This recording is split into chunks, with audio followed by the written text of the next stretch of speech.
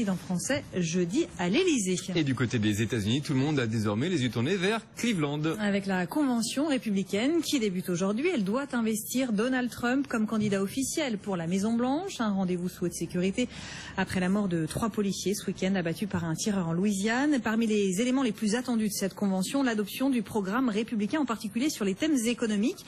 Les propositions de Donald Trump sur le protectionnisme seront-elles adoptées? Une renégociation des accords commerciaux, une fermeture de la frontière avec le Mexique? Et quid de la fiscalité Des sujets qui seront scrutés avec grande attention du côté de Wall Street. C'est ce que nous dit Grégory Volokin, le président de Mescart Financial Services à New York.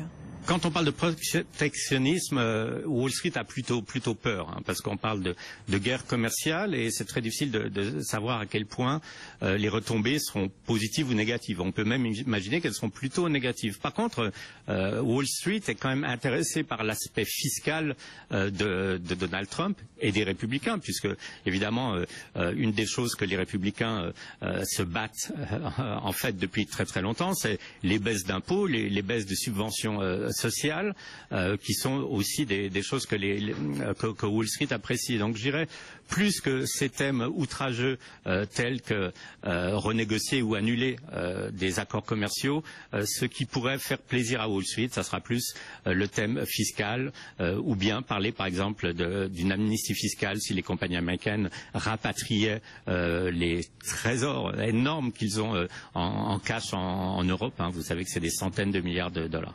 Grégory Volokin, le président de Mescars Financial Services à New York, tout à l'heure sur BFM Business. Les entreprises